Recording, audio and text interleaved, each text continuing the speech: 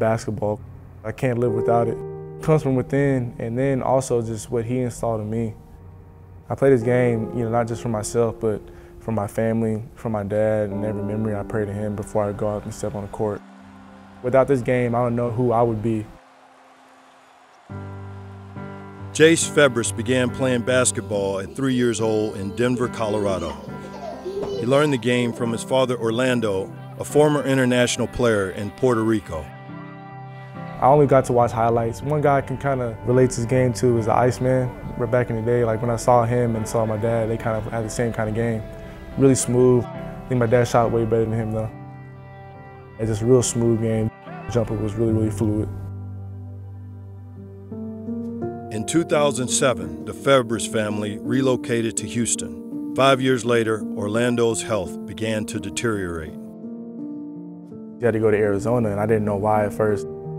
And my mom told me he had to go down for some medicine. I didn't like know what exactly she was talking about. She was just saying like, you know, your dad's a little sick right now. I thought positive, like he was gonna get over, get over. But as time went on, you know, I started kind of coming to reality.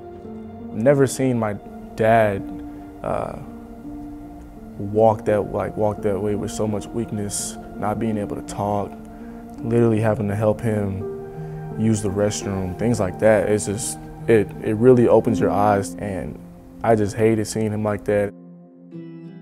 Orlando was diagnosed with colon cancer in 2012. By 2014, the cancer metastasized to his liver and lungs.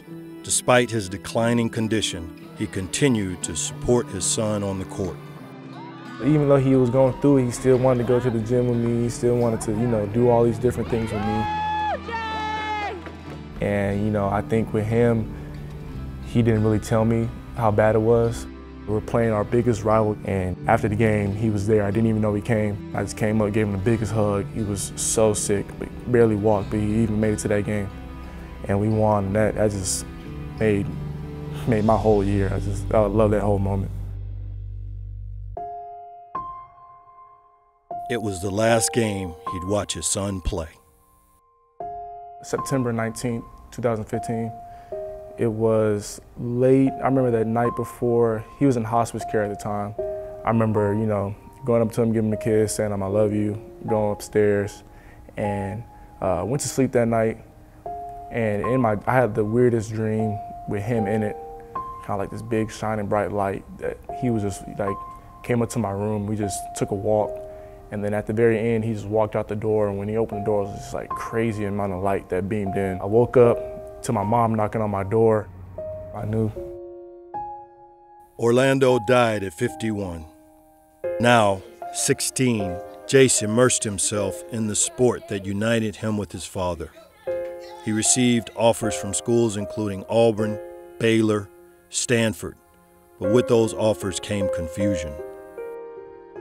That was a, a time where you could really, really lean back on like your, your parents back home so going through a lot of things that boys go through around that time, without a dad, the pressure of a lot of different men in my life trying to lead me one way, mom not really knowing what to do with recruitment and stuff because my dad was the one who went through that.